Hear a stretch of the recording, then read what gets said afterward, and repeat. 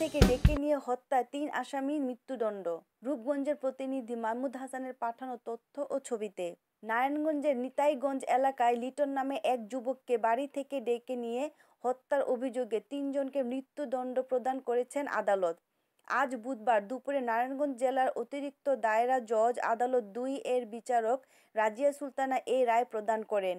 মৃত্যুদণ্ডপ্রাপ্ত আসামিরা হল রফিক হাবিব ও শরীফ মিয়া। আসামিদের মধ্যে শরীফ মিয়া রায় ঘোষণার সময়ে পলাতক ছিলেন।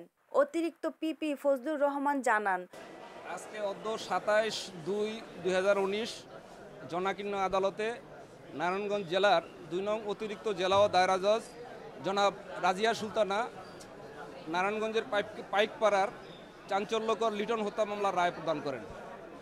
রায়ে বিজ্ঞ আদালত দুইজন আসামি উপস্থিত ছিল রফিক এবং হাবিব এলাইস কাউসার এলাইস হাবলা।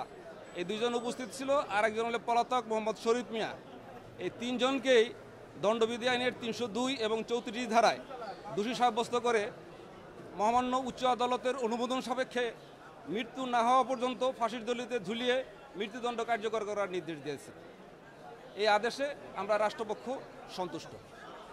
দুই হাজার দশ সালে পহেলা ডিসেম্বর তিন আসামি লিটনকে পূর্ব শত্রুতার জের ধরে নিতাইগঞ্জ মন্দিরের সামনে ডেকে নিয়ে খালঘাটের এক পরিত্যক্ত বাড়ির ছাদে নিয়ে এলোপাথালি কুপিয়ে হত্যা করে। এই ঘটনার পরদিন নিহতের বড় ভাই সিরাজ মিয়া বাদী হয়ে আসামিদের বিরুদ্ধে মামলা দায়ের করেন। এই ঘটনায় আসামি রফিক ও হাবিব আদালতে ঘটনা বর্ণনা করে দোষ স্বীকার করে জবানবন্দি দেন। এগারো জন সাক্ষীর সাক্ষী ও জেরা শেষে আজ আদালত এই রায় দেন। আমাদের চ্যানেলটি সাবস্ক্রাইব করুন এস এস টিভির সাথেই থাকুন and click the bell icon for new videos